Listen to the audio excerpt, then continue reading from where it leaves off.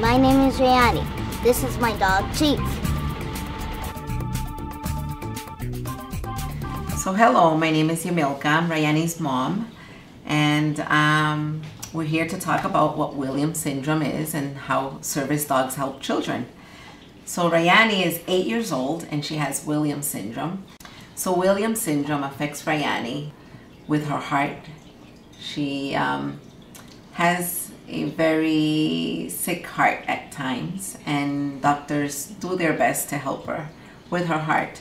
Um, other than her heart, she's very shy with new surroundings and new people. And those are the some troubles she has. Other than that, Rayanie loves to play. She loves meeting new friends. Uh, but sometimes it's a little uh, tough for her. Um, I was sick a lot, and I had to go to the doctors a lot. He plays with me when the shot's coming, and then I can't feel the shot, and then I'm better. He just knows when she's afraid, and he will start playing with her so she can forget about the appointment. And she pets him, and she rubs his ears, and that's his favorite.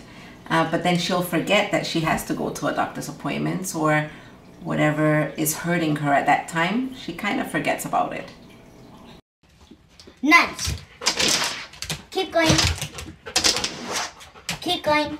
Keep going. Yes. So Chief is a service dog and he's a working dog. Chief, He knows when he's gonna work because we put a vest on him. So we tell him, get ready. Chief, get dressed. So when he gets dressed, it means that no more time to play, it's time to work. Why do you love Chief? What do you love about him? he he holds me when I'm sick, and when I need to call my mom, he speaks. Um, there are times when Rayanie can't speak and she will give him a command. So when he speaks to us, we know that something's not okay. So there was one time when Rayanie was not feeling well at all. Um, I'm sick. I have a big, huge headache. My belly hurts. So she used the command for the first time um, and she told him to speak. And he doesn't bark at home unless it's an emergency. So he did, and immediately we rushed into her room and she was laying there and she didn't have the strength to call for us. So right then and there, um, we knew that this was the best decision we had made.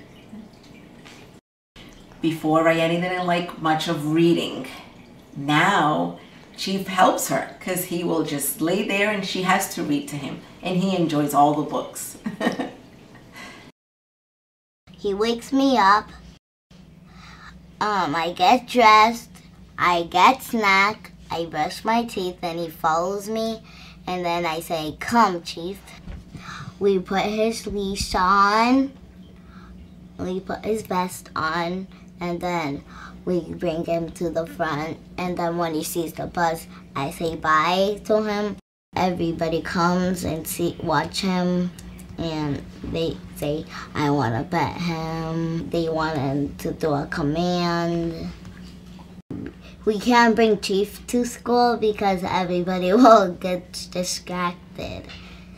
I say goodbye to him, and everybody says, "What? Who's that dog?"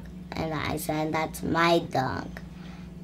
We play ball, um, find me, freeze dance. I take care of um, Rayanie, and Rayanie has to take care of Chief.